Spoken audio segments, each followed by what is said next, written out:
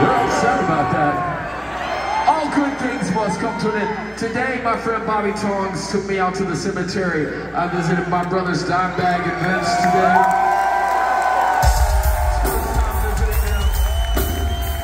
So this next song, as always, when we're right here in Dallas, Texas, their home, this song goes out for Dime and Vinnie. Motherfuckers, I want to see a huge circle pit.